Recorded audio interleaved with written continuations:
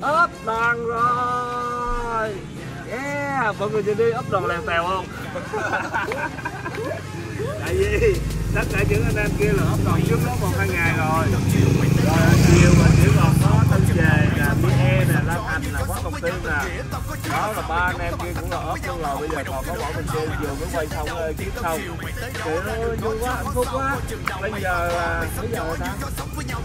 Gần hai giờ sáng rồi gần 2 giờ sáng rồi, đúng rồi.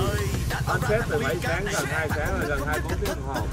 Yeah. bây giờ là về làm học kỳ làm học kỳ là chờ đến ngày 26 tháng 5 ra mắt khán giả thôi. Mọi người ơi, nhớ ủng hộ team chuyên cá 12 cáp không vượt biển lớn lần này của team và tất cả mọi ekip nha. Yeah.